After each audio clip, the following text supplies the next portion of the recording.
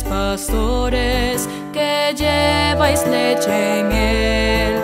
¿Acaso es que ha nacido Jesús, hombre en Belén?